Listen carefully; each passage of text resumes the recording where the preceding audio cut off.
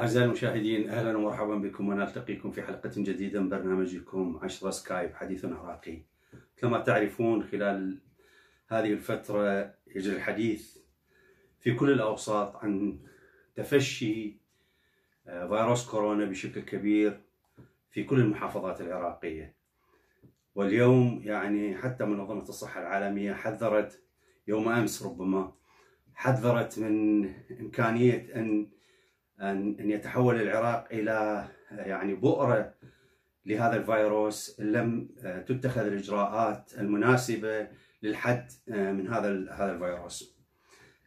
يوم أمس يعني الموقف الوبائي للإصابات المسجلة بفيروس كورونا في العراق اللي تصدر وزارة الصحة يوميا تحدثت به الحكومة عن تسجيل 429 إصابة جديدة بوباء كورونا وقالت هذا يمثل ارتفاعا قياسيا للحالات على على أساس يومي منذ بدء تفشي الوباء في العراق. تحدث هذا الموقف الوبائي أنه عدد المصابين في العراق آه، ككل مجموعهم 6868 منهم هكذا فصل الموقف الوبائي.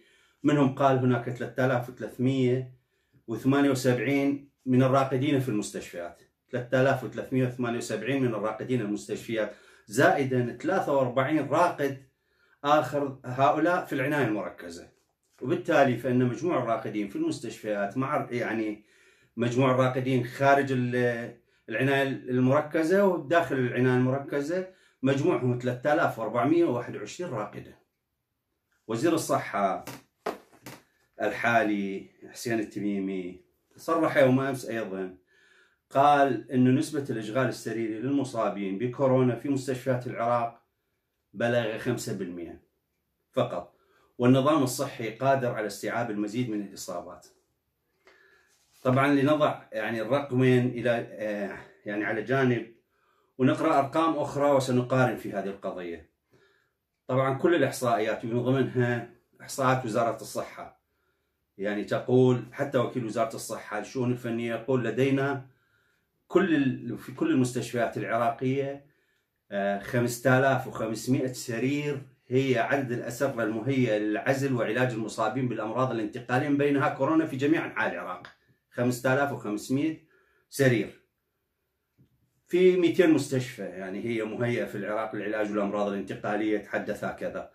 فلدينا 5500 سرير فقط وتعداد سكاننا 40 مليون. فاحنا إذا ما جئنا وأخذنا النسبة التي قال عنها وزير الصحة 5% ووضعناها أمام عدد الراقدين اللي هم 3421 بذلك تكون النسبة الحقيقية للإشغال في المستشفيات تساوي 62 فارزه 2% 62 فارزه 2% وليس 5% كما يقول وزير الصحة الحالي. يعني هذه فرق كبير جدا جدا. لا يمكن لا يمكن يعني المقارنة بين بين الرقمين. آه، الرقم مهول أيضا. وإضافة إلى هذا هم يتحدثون عن سيطرة. يقول نحن نظامنا الصحي قادر على استيعاب المزيد. الموقف الوبائي أيضا يتحدث عن عدد الفحوصات. يقول إنه عدد الفحوصات التي جرت هذا يعني الموقف الوبائي اليوم أمس يتحدث إنه عدد الفحوصات التي جرت منذ تفشي فيروس كورونا قبل حوالي ثلاثة أشهر لحد الآن أكثر من ثلاثة أشهر 238251 فحص أجروا عندما نضع هذه مع نسبة مع 40 مليون مواطن عراقي نجد أن النسبة تساوي صفر فارزة خمسة تسعة خمسة ستة اثنين سبعة خمسة. يعني هذا أنه أقل من نصف بالمئة. عدد المفحوصين من نفوس العراق. إذا كنا فاحصين أقل من نصف بالمئة من عدد نفوس العراق فكيف نقول أننا آه، في حالة سيطرة وإحنا قادرين ومستشفياتنا وبنانا التحتية قادرة على أن تستوعب المرض؟ هذا محاولة للغش محاولة للتضليل محاولة آه، لتفشي الوباء لمداهنة الوباء. يعني أحد آه، يعني أحد الوكيل الفني لوزارة الصحة أيضا يقول يقول هناك يعني محاولة لإضافة 4000 سرير في نهاية هذا العام. نحن الآن في الشهر السادس في نهاية هذا العام يعني أمامنا ستة أشهر حتى يضيفون 4000 سرير أخرى. والحين ما يضيفوها هذه قضية ويقول أيضا نحن لدينا 1200 جهاز فقط للتنفس الصناعي. أريد أن أقول أنه في عام 2019 كانت الموازنة المالية في العراق كبيرة جدا. بلغت 106 مليار و500 مليون آه، دولار. تم تخصيص 2.5 بالعشرة في المئة فقط لوزارة الصحة. مبلغ ضئيل جدا جدا.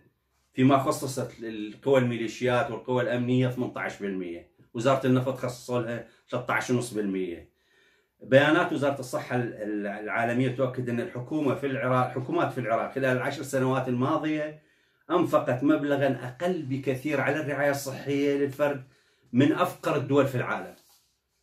بلغ نصيب الفرد العراقي الواحد من الإنفاق على الصحة 161 دولار بالسنة. بالمقارنة مثلا في الأردن دولة فقيرة ليس لديها مثل موارد العراق. حجم الإنفاق 304 دولار بالسنة على المواطن. لبنان هذه البلد الفقير 649 دولار على المواطن سنويا. لاحظ لاحظ كم كم صحة المواطن وكم المواطن رخيص لديهم. آه، كان هناك وزير مثل ما تعرفون اسمه علاء آه، علاء علوان الذي عينه آه، يعني عادل عبد المهدي وزير للصحة كمحاولة منه للإيحاء بأن بأن وزارته مؤلفة من الاختصاصيين وقدم استقالته في آب من العام الماضي.